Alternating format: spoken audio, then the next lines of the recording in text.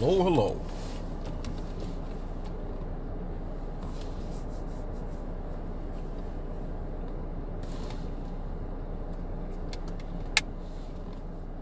We'll give this a second for Facebook to send the alerts.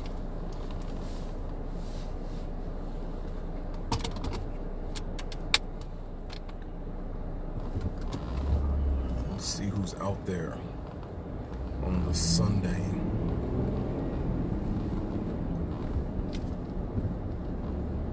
A few people popping up. See my girl Vita, what's going on, fellow warrior?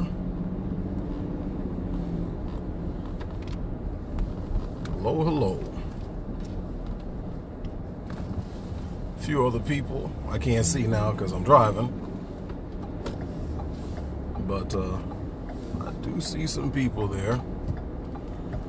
So what's going on, y'all? Happy Sunday. And how y'all doing?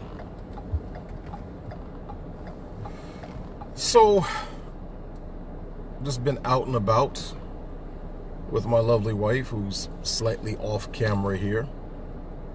But um it's funny because, you know, as we, we've been out, you know, we, we got back from Lake Tahoe, which was a phenomenal time, just a very relaxing time, something that we really needed, just some total downtime. But you know, we had to come back and you know, running around, running some errands, doing a little bit of shopping. And it's funny because there's there's there's a couple of malls in Northern Virginia. Uh, yesterday we were over at the Springfield Town Center, but then today we are just over at Tyson's Corner Mall, which is one of the larger malls in America and, and definitely one of the more upscale malls. But I'll tell you that Springfield Town Center in Springfield, Virginia is right off of I-95, I-395. And it used to be a raggedy place. It was a really sad mall. And then they tore it down and they built up this town center. And it's funny because when you drive past Springfield Town Center, the parking lot is always packed. But the funny thing is, is that the mall itself is fairly empty. I mean, there's people who are in there, but when you look at the, the, the parking lot, you would think that this place is packed. But what it is, is that there's a lot of restaurants at the Springfield Town Center, so you'll see, you know, uh, most of those cars, the people are at the restaurants. There's a lot of good food to eat. But like Tyson's Corner is like, it's never empty. It's all there's always people in, in, in Tyson's Corner. But here's the thing: what I really think about with Tyson's Corner and, and what my wife and I were noticing, like when we were there last night, is how dirty Springfield Town Center has been the last couple of times we've been there. And I actually said something to the uh, once again, this this place is, was only remodeled, rebuilt like two, three years ago. And it's really nice. I mean, you walk in, it is a nice looking mall. You know, it's very well uh, decorated, everything like that. Just the, the, you know, the decor is very nice. But when I go in there a lot, I just notice there's trash all over the place.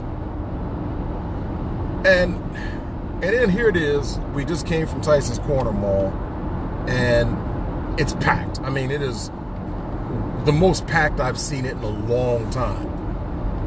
And, you know, we had to pick up a thing or two. And as we were leaving, I said to Tanya, I said, baby, you notice, like, I saw a little bit of trash by one of the trash cans by one of the, the food court areas. Because Tyson's Corner doesn't really have a food court. It just has an area where there's more of the food but it doesn't have a food court. Well, well I, take, that back. There is a food court on the upper level by the movie theater, but in terms of the rest of the mall, there's not necessarily a food court. But I did see a little bit of trash over there. And I'm sitting there thinking like, man, isn't that amazing? This mall has tons of food, foot traffic. I mean, it is always, there's always people in there, but yet with, you know, 10 times the number, literally 10 times the number of people come to Tyson's Corner Mall as what come to Springfield Mall, but yet there's little to no trash there. And I see they got security guard. They have uh, cleaning people at Springfield Mall, but yet there's frequently trash there. And what came to mind, and I was telling Tanya, I said, you know, have you ever heard about the broken window theory? And she didn't. And I said, so what happened is that uh, I think a psychologist or whatever came up with this idea because he had observed that in places like New York, for example, Baltimore, whatever, generally inner city type areas, he noticed that when you go past some dilapidated area, right, and you'll see a, you know, a house front, a row home, whatever you want to call it, that has a broken window, and you might notice that one broken window, but then as time goes on, you'll start noticing more broken windows. You'll start noticing graffiti. And then before you know it, the whole area has become dilapidated. And it seems like it happens overnight. It doesn't necessarily happen overnight, but it does happen rather rapidly. And so what they what this guy surmised was that the broken window theory is that when you take whatever little miscreant who sees something and maybe just randomly picks up a rock, you know, being a dumb kid, throws a rock at a at a window and breaks the window, right? Well, if somebody threw a rock through your window, you're gonna be like, hey, hey, what are you doing, right? And you're gonna have a problem with that because you live there. You care about your property. You're to chase that kid off. You're to try to find out who their parents are. You're going to try to get their parents to pay for that, repair the broken window, right? But what happens if the kid throws a rock through the window and nobody responds or reacts? You know, and maybe that kid walks past that same place a day or two later and someone, no one has done anything to repair that broken window. You know, you never put like a piece of cardboard up or anything, you know, to, to fix the hole. So here's what the kid comes to the conclusion of nobody cares. Right? And, and so human nature is such that when you realize that nobody cares, why should you care? So now I can get away with it. And so what he does is like, you know, not he, he goes back the next day and throws another rock. Or maybe it's buddies with him, hey man, you want to have some fun? Let's throw some rocks through these windows. And before you know it, this this home, this row house, this warehouse, or what have you, all the windows are busted out. Before you know it, people decide to start spray painting graffiti. Before you know it, people start leaving trash everywhere. And everything becomes degraded. And it doesn't happen overnight, but it seems like it happens overnight. And it's because seemingly no one cares. And if you don't care, why should I care? If you don't value your property, why should I value? If you don't value yourself, why should I value yourself? And here's what happened is that one of the things, as far as I've been able to study, is that under Mayor Giuliani in New York, and there's a lot of people who have a problem, they, they have a problem with the whole like stop and frisk thing. And I'm not going to sit here and endorse stop and frisk, but I understand the thought process behind stop and frisk. I understand the thought process behind uh, active policing, where the police start getting on people for relatively minor infractions. Because some people are sitting there like, man, there's there's murders taking place and so on and so forth. You know, why are you harassing me, man, just because I tossed some trash and didn't put it in the trash can? Why are you harassing me because I jaywalked? Man, go take care of those murders. Well, here's the thing. Like, I'll tell you, like, my family's out in Colorado. And one of the things I noticed about Colorado, especially Colorado Springs, is very clean. And like whenever we go back home to Colorado Springs, I'm always like shocked if I see trash on the side of the road anywhere. I mean, I kind of jokingly talk about it's the clutch the pearls thing. We're like, huh, who would do such a thing? This is Colorado Springs. We don't do those things here. Why would you leave trash? You're messing up the natural beauty of Colorado Springs. But that's how people think in Colorado Springs. You wouldn't dare leave trash throw trash out your window because that's not how we do things in Colorado Springs. But I noticed, like, for example, we go back to Detroit, it's amazing the difference between Eight Mile, when you cross over Eight Mile, it's I've always I always use the example of uh, the Wizard of Oz, or for example, when you go up Jefferson in uh, and you leave the inner city because you know they're revitalizing some of downtown Detroit, but when you go up Jefferson and then you get into the area that let's just be real is a predominantly white area, and I'm telling you when you cross this line, and, and, I'm having a brain fart moment, so I don't remember the, the name of the area, and I'm sure one of my friends who was listening knows the name of the area, but uh, there's an area just north of Detroit. I think it's Grosse Pointe. I want to say it's Grosse Pointe. um, where it is just beautiful, and it's where you start getting more of the lakefront property. And I'm telling you, it goes from Raggedy Hood to green lawns and all that just like that, literally crossing one street. And if you're driving out there in Detroit and you go across 8 Mile, one of the things you'll see when you cross out of Wayne County and you go into Oakland County, you'll see just like that. It goes from trash on the side of the road to spotless. And, you know, I'm sitting there wondering, like, okay, this whole broken window thing. Well, maybe it's because people care. But see, there's a quote from uh, former President John Adams, and he said that uh, it's like I think he said this quote in like 1815, something to that line. Oh, seven, I'm sorry, 1785. He made this quote. He basically said that uh, our form of government was made only for a moral and religious people. It's wholly inadequate for the governance of any other. So you have to understand that our government was created to be limited for a reason. And it kind of goes back to even like what was uh, uh, spoken in, in Galatians chapter 5, verse 1, when it talks about being free from the bondage of the law so that you may have liberty. See, there's a diff difference between liberty and simple freedom.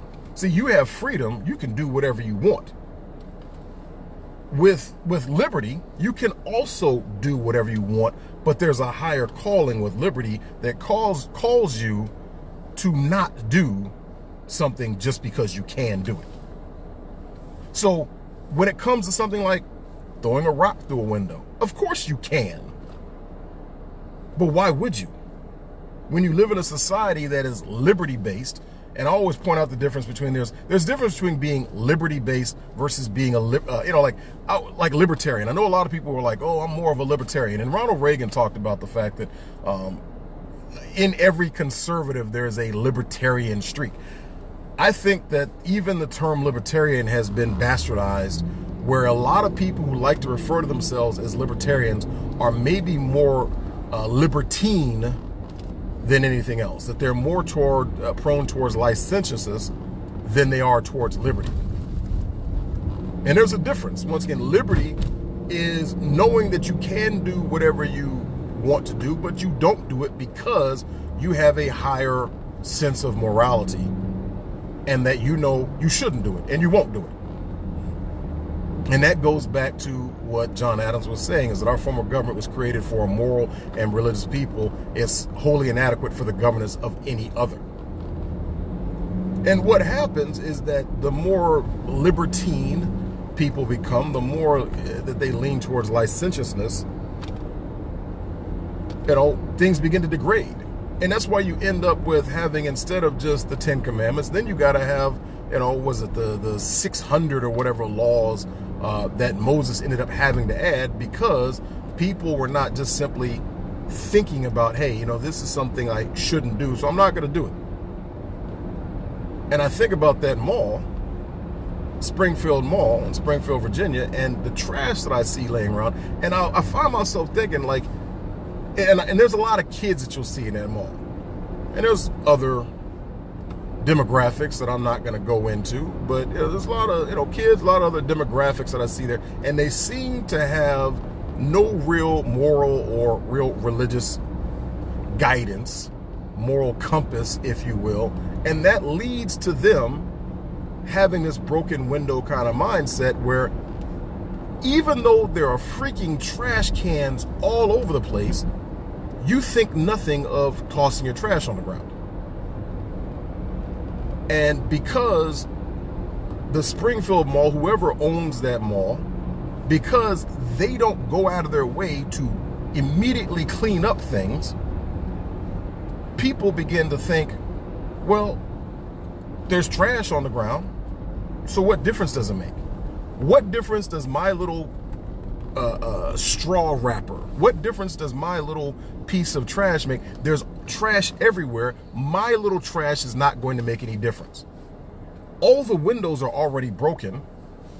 There's multiple windows broken. What difference does it make if I break a window? There's already graffiti on half the walls in the buildings. What difference does it make if I add graffiti to it? This, this is just the reality of human nature and human behavior. And so one of the things that they started doing is they started having to hammer people for relatively minor infractions. Giving big tickets to people for jaywalking, giving big tickets to people for leaving trash. And you sit there and go like, man, this is stupid, man. You're gonna make me pay a $200 fine because I dropped a, a candy wrapper? Okay. But see, look at look at what's happened in San Francisco. You know, word has it you can smell San Francisco way before you get to it. Why? Because licentiousness, because of the broken window, because leftist regressive socialist ideology has led to people not having a moral compass, has led to people being able to uh, just doing whatever feels good. In this regard, relieving themselves, urinating, defecating whenever they feel the need to. So now they have, you know, diseases running rampant in San Francisco. They had to pay people six figures.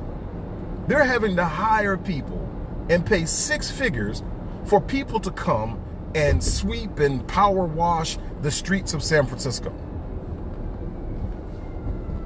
You see the broken window? You see how it ends up going down? But see, you're dealing with people. See, you're dealing with people who were not raised properly. You know, you're dealing with a generation who didn't get their behinds whooped. You're dealing with people who were get got put in timeout. You're dealing with people who were raised to believe that their self-esteem was the most important thing. We want to raise little Johnny's self-esteem. And when you look at like, I don't know if you guys saw the video where the precious snowflake just totally melted because a guy uh, at this vape shop was wearing a uh, uh, American flag T-shirt or whatever, and a "Make America Great," you know, Donald Trump hat, and this guy just totally melted down and cussing and screaming. I mean, literally screaming. And I was sitting there thinking, like, yo, I've seen that guy before. I've seen that guy a thousand times. I've seen that guy when he was a kid screeching, falling out, and the parents, rather than snatching his little behind up, the parents just was like, well, I just don't, you know, Johnny's just having a moment. You know, he's, he's just needs a nap. No, Johnny needs his little behind snatched up. Because we can see beyond any reasonable doubt what happens when Johnny doesn't get his little behind snatched up. Johnny begins to think that this is acceptable behavior. This is one of the things I've talked about all the time. That the problem with leftist regressive socialist ideology is that it does not have immediate uh, consequences and repercussions. I, I always wish that the moment you touch, you know, that it had like an electric shock or a hot stove type of response. So that the moment you think of or try to implement some sort of leftist, regressive, socialist ideology, that you got burned, that you got shocked. But it's not how it happens. What happens is 20 years later, you have the explosion in single parent households. You have in the black community, you had, uh, you know, because of leftist ideology, you went from a relatively large number in, a, you know, a, a single parent households of 23% in 1965 to one generation later, 21 years later, it doubled to over 50%. One generation later, you know, and eh, by 19, uh, by 2005, whatever like that, it got up to nearly 75%. I see my boy Chris Sumner there. What's going on, fellow warrior? And and see, so you have to address these things at that moment. When somebody's dropping trash, you need to address that right there. Because if you don't, other people are going to sit there and say, well, there's a piece of trash there. It's been sitting there for an hour. Nobody's bothered to come along and sweep it up. So what difference does it make if I drop some trash? What difference does it make if I spill my drink? Nobody cares, so I'll I'll just go ahead and do it. What difference does it make if I act a fool and throw a temper tantrum? There's no consequences and repercussions. I don't feel the immediate consequences repercussions for my actions, so they must not matter.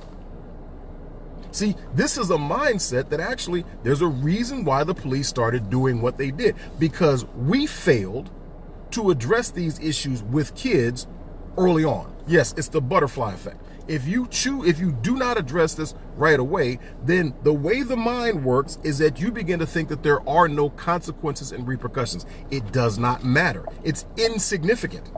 And then people wonder why this neighborhood turns to crap. It's because you didn't care enough to address it right then and there. I mean, I, I, had to laugh, right? Because yeah, I'm old school, man. I'm, I'm unashamedly uh, uh, old school. When I acted up, my mom and dad got my behind quick, fast, in a hurry. And then while I'm sitting there, you know, my mom and dad said, "Shut up all that crying before I give you more to cry about." right? That's what you did. And you know what? Because my parents had a standard. They set a standard for behavior. And you learn that early on. Early on, you learn. See, this, if you have failed to set a standard, but more importantly, if you have failed to take action, like I'll tell you like this. I dated a girl once and she had a, uh, she was a single mom and I dated her briefly, right?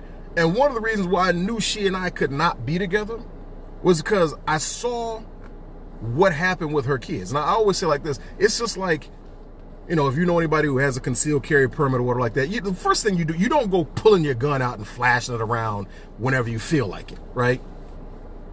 And you, you have to be judicious. If you pull it, you better be ready to lose it, uh, to use it. And you know what? My parents, they never really threatened to whoop my behind. My parents would be like, you got one more again.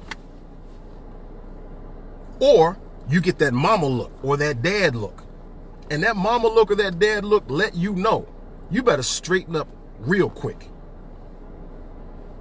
And if you didn't, you cut up a little bit before you knew it, you were getting your behind whooped just out of nowhere, right upside the head.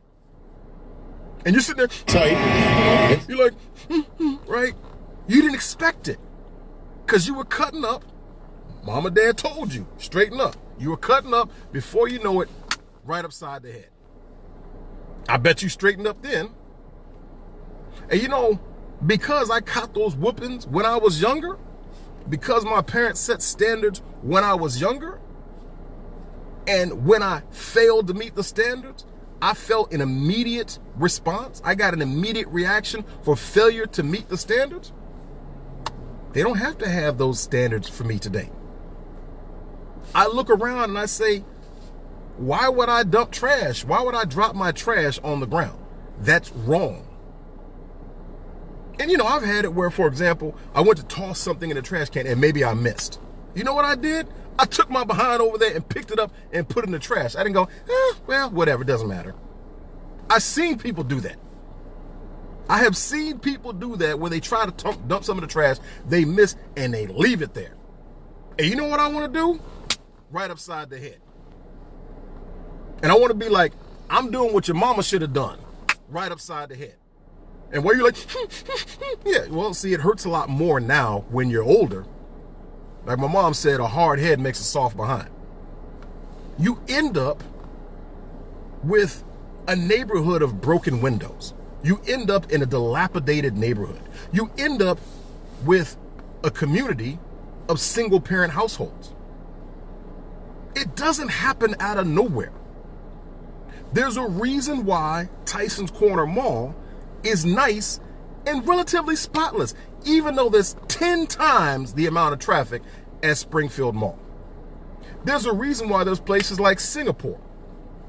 And people, and I remember years ago, maybe you might remember this, where there was a young man, a young American, who got in trouble in Singapore because he spit his gum on the ground or spit or something like that. And he ended up getting caned.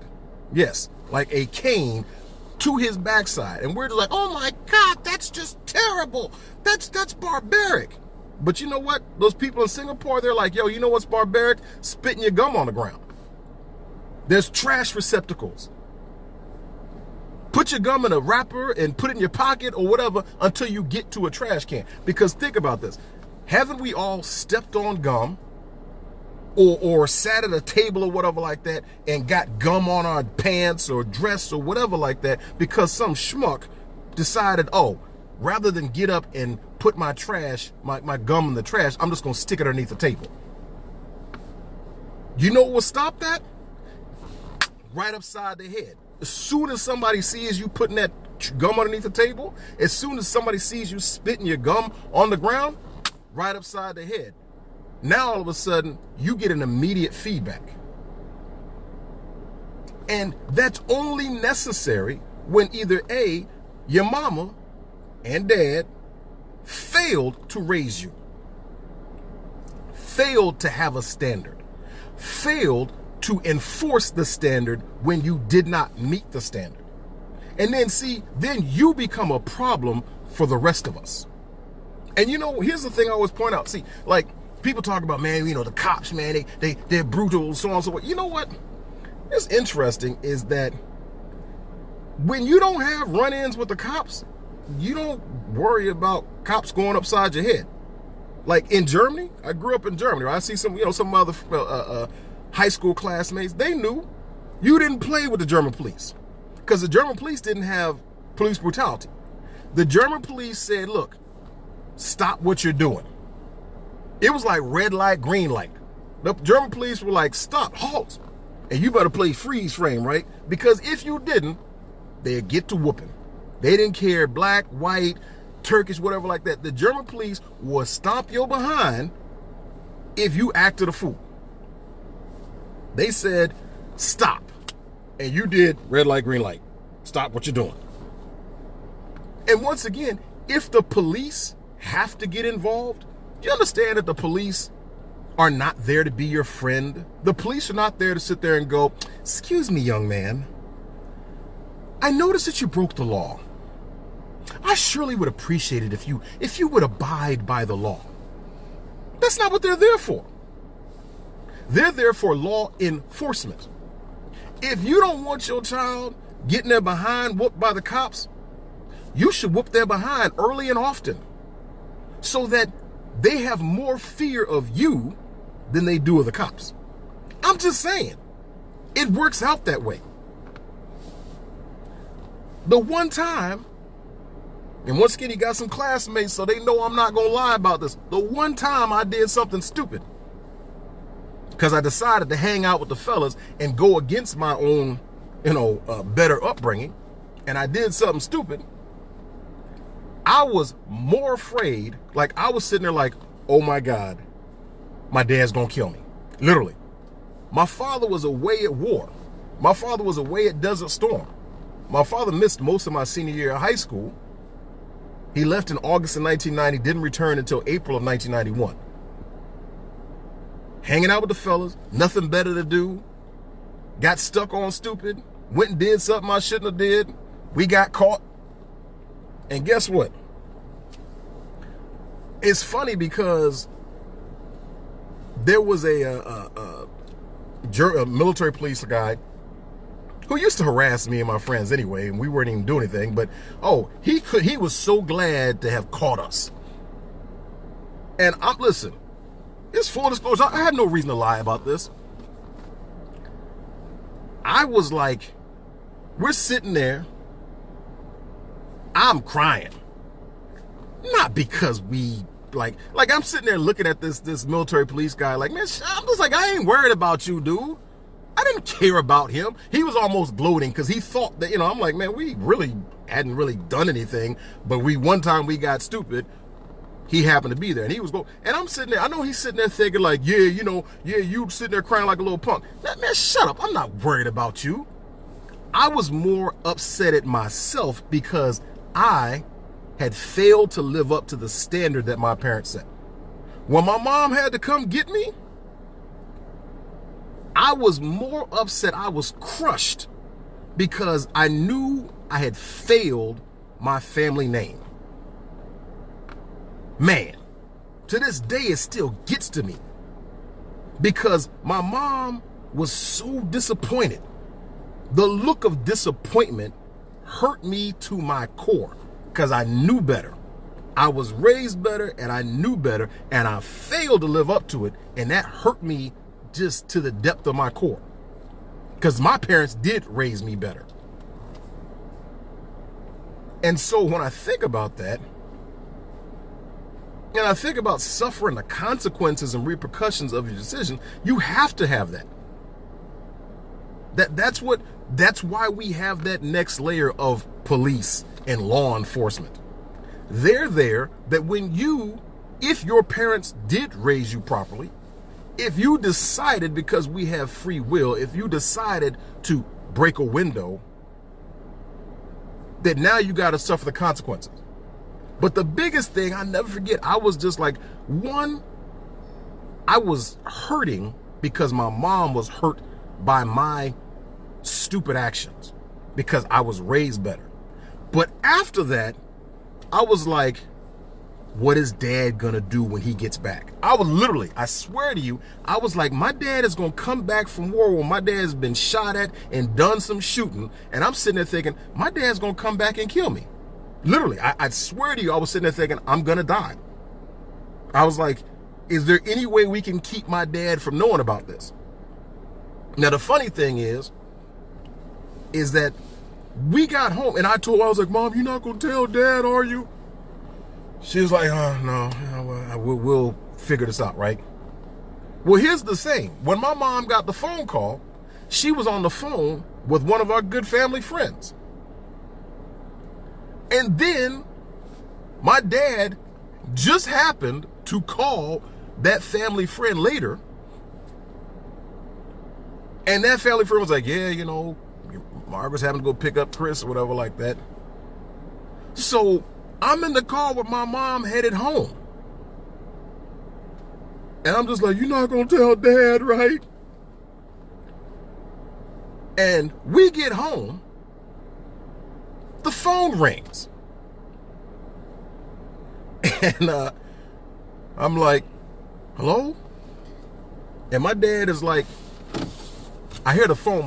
And my dad said, I heard you been effing up. That's what he said. My whole blood, I, I, I went cold. And, I, am looking at my mom like, you told him, right? No, come to find out, no, my mom didn't tell on me. Uh, it was, that's how things happened at the, uh, the, you know, my dad happened to call and speak to our family friend and literally just as it happened. Now, when my dad got home a couple of weeks later, he didn't kill me, obviously. But my father was like, well, you're almost grown. I was 17, wasn't 18. He's like, you know what? You get to deal with the consequences and repercussions of your action. Because I raised you better. Now you get to deal with it. I had to do community service. Yeah, that really sucked last couple weeks before I'm getting ready to leave, Germany had to do community service because I got stuck on stupid. I had to suffer the consequences and repercussions of my stupid choices. And I wish that more people had to suffer those consequences and repercussions instead of being coddled. Because here it is, that was 28 years ago, 27, 28 years ago, and it still bothers me that I got stuck on stupid, but I'm glad that I got caught being stuck on stupid. That's why I don't suck today, because I never got away with stuff. That's why I don't believe in breaking people's windows. I don't believe in leaving trash around. Because one, I was raised better, and two, when I did do something stupid, I got caught and had to suffer the consequences and repercussions. My parents didn't try to shield me from the consequences and repercussions of my stupid decisions. And if you try to shield your kids from the consequences and repercussions of, the, of their decisions, shame on you. Shame on you. And now the rest of us have to deal with your stupid kids. Now, see, you're worried like, th then even more shame on you if you complain when the cops put a foot in the behind of your child. Because if you had put a bigger foot in the child in your uh, in the foot of your uh, put a bigger foot in the behind of your child, they most likely would have been more afraid to do something stupid. Right? And if they did something stupid, because look, Adam and Eve even though they were told otherwise by God, they still, through their own free will, chose to eat of the fruit of the knowledge of true uh, of good and evil. As human beings, we're going to do that, but they had to suffer the consequences repercussions. I'm just finding myself sitting there like, you know, when people break windows, follow the analogy, when they break a window, when they leave trash, maybe we should be more like Singapore. I almost don't want to go back to the Springfield Mall because the last couple of times I've been there, I've been disgusted. It's a very nice mall, but I've been disgusted by the amount of trash that's there. Like, or we might go to the movie theater and we walk out and it's like, you know, sometimes because we try to go to the late night movies. We leave the movie and it'll be like midnight when we leave the movie. And I'm sitting there going, okay, the mall itself closed two hours ago. Why has the cleaning crew not come through immediately and clean the stuff up? And I find myself wondering, like, okay, if I came in this mall first thing in the morning, is the mall cleaned up? Has the cleaning crew came through earlier in the morning? Or is it still dirty? At what point are they cleaning up? At what point are they fixing the broken windows? Because human nature is such is that when we see trash laying around, we see broken windows, we figured nobody cares, so it doesn't matter. When we see kids acting a fool and they don't get some, and somebody doesn't put a foot in their behind when they act a fool, other kids see this, right? It's like one of the reasons why you should be careful about who your kids associate with. You know, when we've you heard her, right? You know, you take your kid to daycare, whatever like that, and your kid goes to daycare, and maybe little Johnny is cussing up a storm or doing whatever like that. You know what happens? Your child is prone to say, hmm, little Johnny tried that, let me try it. You know what needs to happen? The first time your child does what little Johnny does, you need to snatch their behind up. Because if you don't, your child becomes little Johnny. Your child becomes a model for a lot of other kids. It's a broken window theory, folks. It's it's just it's not even a theory. It's a fact. It's just the reality. There's a reason why the streets of Singapore are sparkling clean is because one, the culture is such that they have that standard. But two, when people violate the standard, they immediately face consequences and repercussions. The police in Singapore will snatch a knot in your behind. It's not rocket science, folks. It, it's sociology 101. It's biblical. Raise up a child in the way that they should go and they won't soon depart from it. But once again, that has to be affirmed by society as a whole. When somebody's acting a fool, when somebody's dropping trash, they need to get snatched up. Because otherwise, you end up with a very nice mall, recently rebuilt. Nice stores, everything like that, and it's already within three years looking trashy. It's not rocket science, folks. You got to fix that. And it takes more energy to fix it later than it did if you were proactive and fix it earlier. Frederick Douglass said the same thing. It's easier to train up children than it is to repair broken men. So listen, I got to run here for a meeting with my mentor. But thanks for listening listening to me rant. I hope I gave you something to think about. I hope you hope you just really took this in. I hope you share this with other people. Maybe you disagree. That's on you. You're free to disagree. I'm right. it is true. I'm right. You can disagree if you want to. I'm right. But uh, share it with your family and friends. Enjoy the rest of your evening. And if I don't talk to you between now and New Year, have a happy New Year. New Year's Eve, I guess it's tomorrow. Take care. God bless.